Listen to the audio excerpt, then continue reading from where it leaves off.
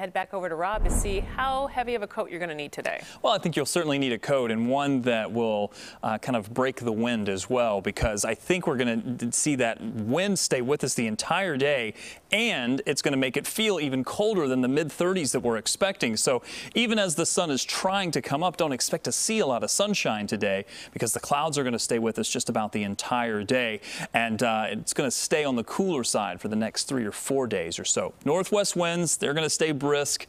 Uh, they won't be quite as strong as where they were yesterday, but it'll take these mid 30s, which is where most of you are sitting into the city, or even low 30s back to the west, and it's going to make them feel like they're into the 20s. Cloudy skies, again, not a whole lot to warm us up today between the northwest winds and the clouds that aren't allowing much sunshine in for today. There's just not a whole lot to warm our temperatures up above those mid to upper 30s, and that's where we'll be for the Bears game for today. If you're heading out, just know that it's going to feel like the 20s for just about the entire game.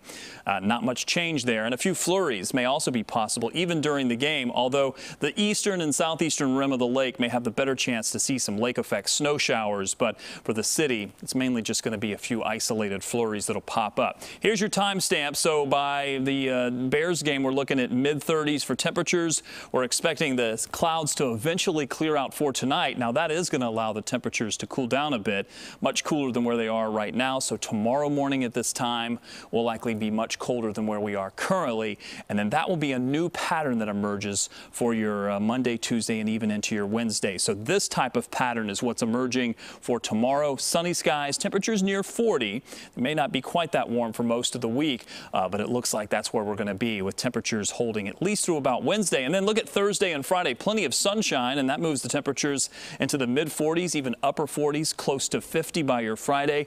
This is my favorite part of the forecast, though, because I love seeing all of that sunshine on our seven day forecast.